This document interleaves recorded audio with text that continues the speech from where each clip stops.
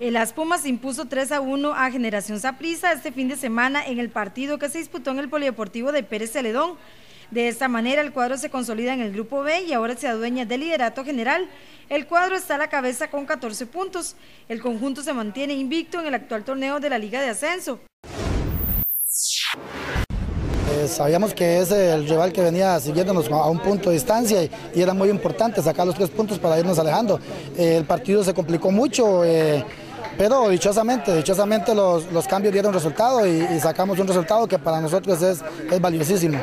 Primero, gracias a Dios ¿verdad? por el triunfo, fue un partido muy difícil contra un gran rival. siento que el primer tiempo no anduvimos muy bien con el balón, pero en el segundo tiempo con los cambios el equipo mejoró y gracias a Dios se nos dio el triunfo. Como bien mencionas, un juego muy importante. Este, era el equipo que venía ahí a, atrás de nosotros empujando, este, a pesar de que tuvo un mal resultado el, miércoles, sabíamos que Saprissa siempre trabaja con intensidad y, nos preparamos de la mejor manera estos días y, y ahí se dio el resultado. Un equipo conjunto que siempre saca el resultado aquí en casa. Por su parte, Alonso Solís de Generación Saprissa indicó que a pesar de la derrota seguirán trabajando por ganar que el equipo sí, sí luchó, pero lastimosamente eh, nos metieron un segundo gol en un minuto clave, después el tercero pues ya vino producto de la desesperación y, bueno, eh, rescatar que el equipo siguió corriendo los 90 minutos, eso es muy rescatable, pero este, pues no nos alcanzó para, para sacar un gane.